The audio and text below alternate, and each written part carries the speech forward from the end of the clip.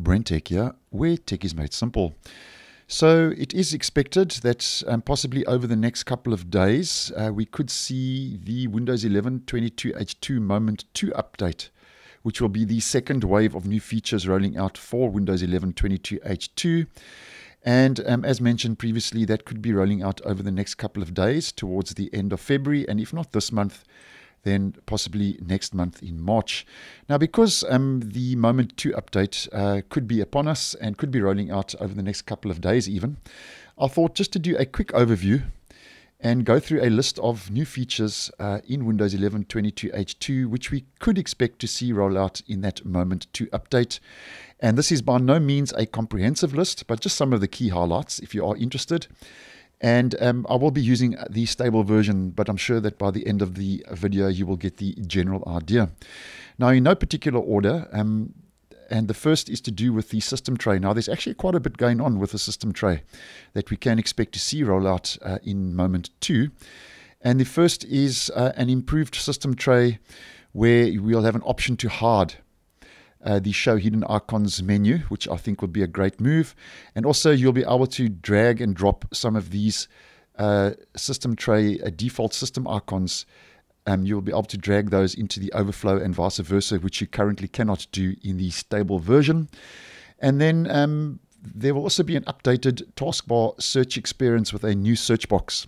And I have posted on this quite in uh, depth and in detail, but uh, just to recap quickly, um, currently we just get this um, button, which if you click on, opens up the search. Now, this uh, could possibly be changing to a search box and a search style very similar to Windows 10, where um, you'll be able to do a search within the search box, and you'll also get uh, the search highlights icon appearing to the right hand side, uh, which will enable you to click on the search highlights. And also, although it will be a search so called box, it will also have the fluent design. So, updated taskbar search with a new search box.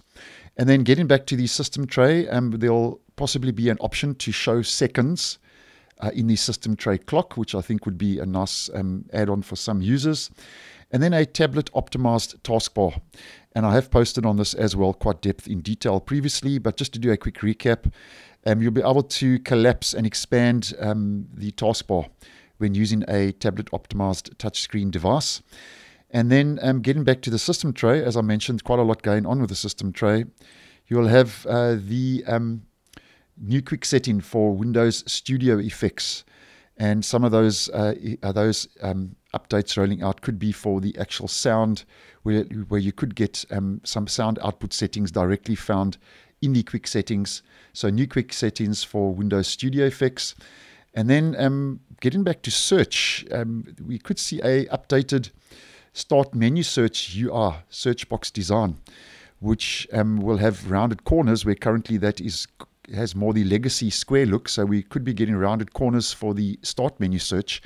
And possibly when you do a search, um, it will open up the search, but the search won't be the size it is now. It will um, uh, be limited to the actual start menu, the size of the start menu. So um, the search will be getting rounded corners, updated search UI, and when you do a search, the search will actually be the same size as the start menu. And then um, widget improvements. Now, to some extent, a lot of these have rolled out to the stable version already. So if we head over to the widgets, um, as you can see, I've already received the full screen widgets, which you can collapse and expand. And I have posted on this previously. And also, um, you'll be also be able to use widgets without signing in. And I actually posted on that just a couple of days ago. So uh, you'll be able to use the widgets without signing in using your Microsoft account. And then um, task manager improvements, which will include, and this is one I'm actually looking forward to. Um, the task manager will get a new search box and a new search a feature here at the top, which will enable you to search through uh, the process IDs, the different processes, tasks, and so on, which I think will be a great move in the right direction for the task manager and is long overdue. And also, there'll be updates to the theming and uh, there'll be more user interface consistency. So, some updates rolling out to the task manager once again. And then heading over to the settings and the accounts page. Now, Microsoft seems to be focusing a lot of their attention on this accounts page, uh, be that in the Windows 11 Insider program currently. And we can expect to see more improvements rolling out to the account settings with updated cloud storage section. Uh, where we could see um, more uh, quota storage limit settings for OneDrive and so on. So, a lot of attention uh, by Microsoft on this accounts page, improved account settings with updated cloud storage section. And then um, staying in the settings, um, we can also expect to see um, minor settings updates. Too many to mention in this video, but there will be UI adjustments to the actual settings app and the user interface to some degree. And also an accessibility improvement where there will be better voice access improvements. And then the legacy snipping tool basically is going to be getting an update. And I have focused on this uh, in, in detail previously, but as many of you may know by now, we'll be getting a snipping tool screen recording function. So it won't just be able to take uh, screen snippets and captures, you will also be able to capture your screen uh, in video. So it'll be a screen video recorder, and I think this is long overdue. And it's about time that um, Windows 11 does get a native screen recording uh, functionality and option. So that's also a nice move in the right direction. And then the last but not least, but just to mention for the purpose of today's video, Notepad should uh, be rolling out with tabs. And I have already downloaded and installed the preview, and I did post a whole video on how to do that. So if you would like to get the notepad with tabs before the update rolls out, then just do a search on the channel for that. But obviously, uh, tabs in the notepad, a nice handy option, very similar to tabs in the File Explorer. And you'll also be able to drag a tab and then open up a whole new window, which, if you are using uh, the notepad on a regular basis, will be a great move and a, nice move in the right direction, as I always say.